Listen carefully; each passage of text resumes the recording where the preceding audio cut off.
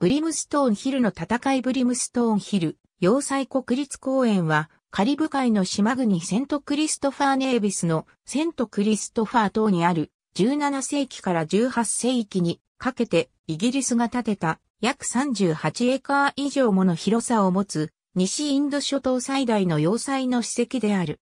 この要塞はセントクリストファー島の首都バセテールから北の海岸線に沿ったブリムストーンヒルの海抜約250メートルの高さのところにある。イギリス人の設計により、ほぼ90年間の歳月を費やして、1782年に完成させた要塞である。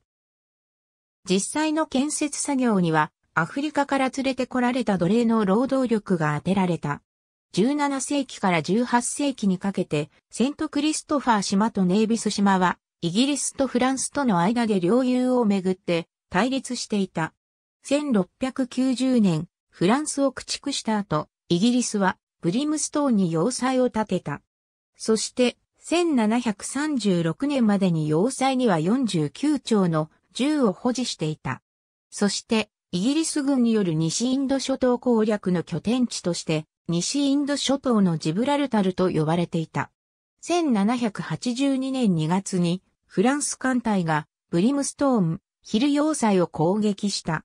千人のイギリス軍は、眼鏡に抵抗したが降伏した。そしてフランス軍は、最後まで戦ったイギリス駐屯軍の英雄的な防御に敬意を表した。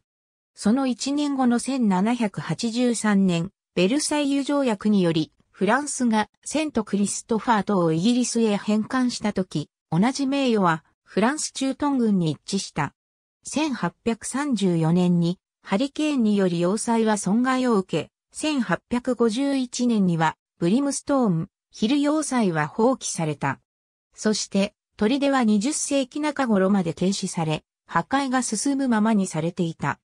1965年に国立公園になり、破壊を受けた部分は修復が進んで、1985年に女王エリザベス2世によって捧げられる国立公園の一部となり、1999年にはブリムストーンヒル要塞国立公園としてユネスコ世界遺産に登録された。この世界遺産は世界遺産登録基準のうち以下の条件を満たし登録された。ありがとうございます。